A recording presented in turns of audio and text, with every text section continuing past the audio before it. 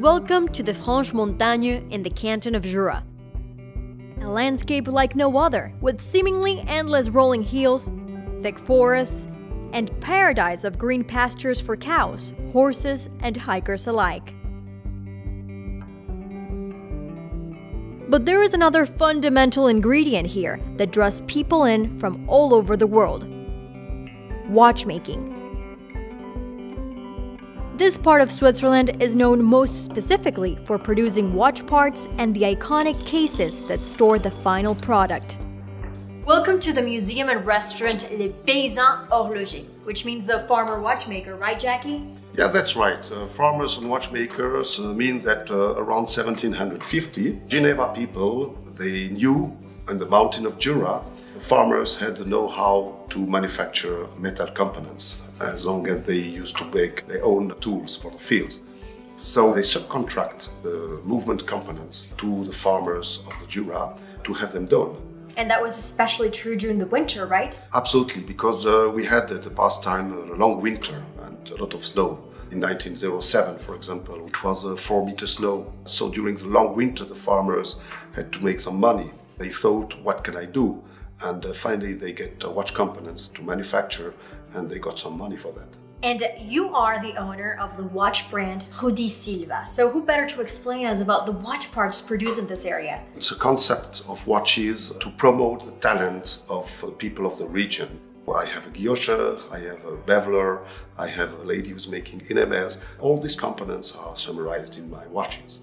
So it's so crazy to say that it's not agriculture, but actually watchmaking what drives the economy of this region. Most of the people working in the manufacture, they are specialized in watches or watch components. Here in Les Bois, we used to be specialized in movement components, but next to us in Le Noirmont, they used to be uh, specialized in cases for the watches, particularly pocket watches. If you have the opportunity to visit, it's a fantastic museum next to here. Now I know what my next stop will be. Thank you.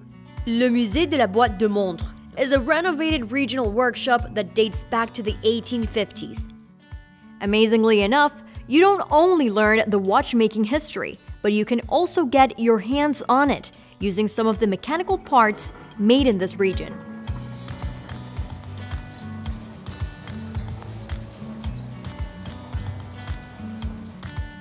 I certainly never imagined that a region could carve out a full-blown economy out of a case, and much less in the middle of nature.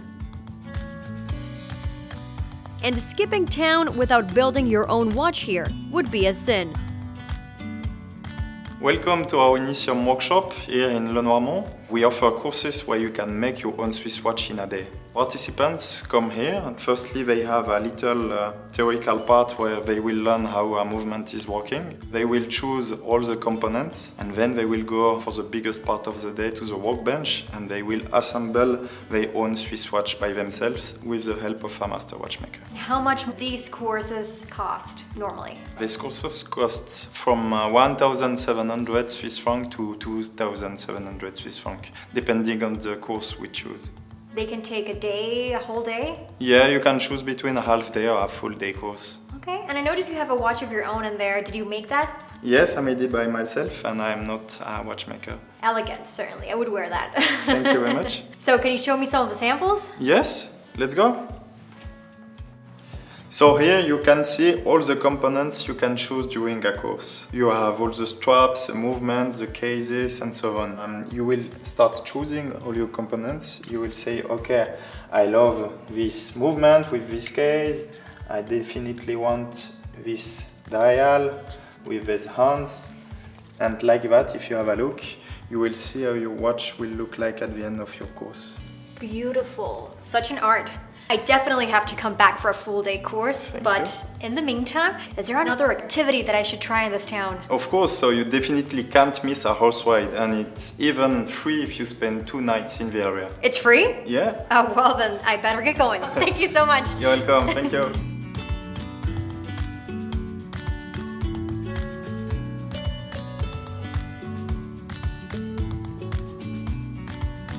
Definitely ending this day with a high note.